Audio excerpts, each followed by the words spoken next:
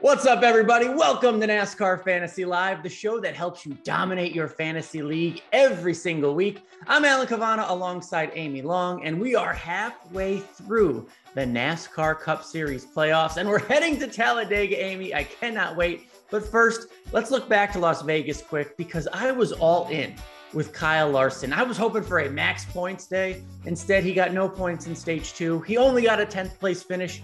So my fantasy team was sad. How did you do last week?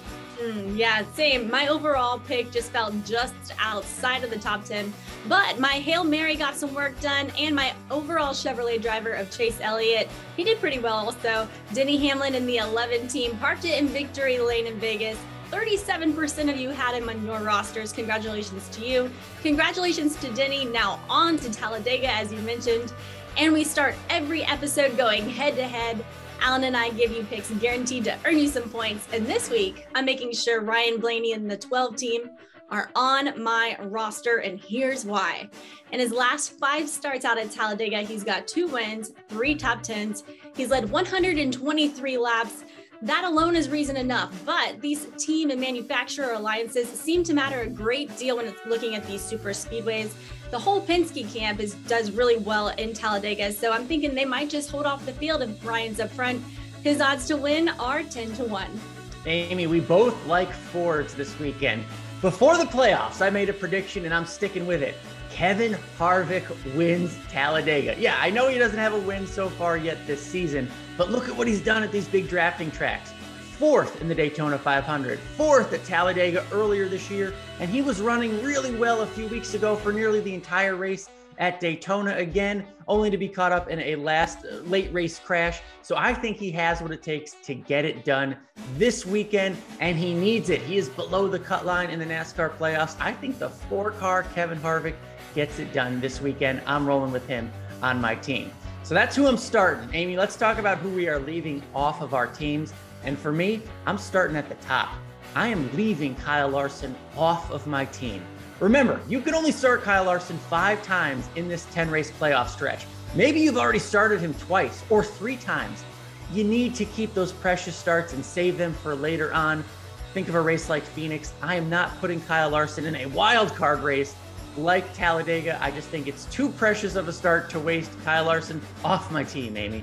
Now, I'm saying things haven't been so sweet for Kyle Busch in Rowdy Nation out at Dega. In his last three starts out there, he's only gone backwards from his start position and has an average start of sixth with an average finish of 25.7. Mm. That sounds more like the ratio of blue M&Ms in the bag to me. So I'm going to say uh, his Daytona stats, they pretty much reflect the same. I'm going to save my Kyle Busch starts for another weekend. His odds to win are 14 to 1. All right, that's the good and the bad. Let's talk some Hail Marys. And Ryan Newman, the other Ryan, is going in my lineup this weekend. And here's why you should consider him too. In his last five starts out at Talladega, his average start is 19.6, his average finish, 10.4. So he finishes exceptionally well in super speedways like Dega, like Daytona, when he's not wrecked out, that is. His odds to win this weekend are 33 to 1. I like it. I'm going with outside the playoffs as well, Amy. And for me, all signs point to Austin Dillon. When you look at points scored at the drafting tracks this year, Austin Dillon is the leader. He has scored the most points, more than anybody in the field. What does that tell us? He can run up front all day, get your fantasy points for you. Points, points, points. Remember all that?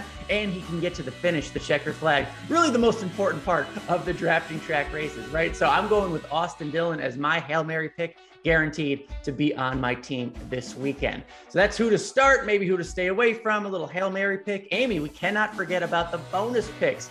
Easy way to help your team each week. Like I said, I am all in on Ford's winning the race, but I still think, in terms of the Toyota field, the top Toyota finisher will be Denny Hamlin. Bonus points right there for me. I'm with you. Ford is overall manufacturer all day long. That's an easy fill in my bonus pick. So there you go. Make sure you share your lineups with us. We love seeing them. We love interacting on Twitter. So use the hashtag Fantasy Live. Show us who you are starting and make sure you set that lineup. Tune into the YellaWood 500 at Talladega Super Speedway this Sunday at 2 p.m. Eastern on NBC. For Alan Cavanna, I'm Amy Long. Good luck.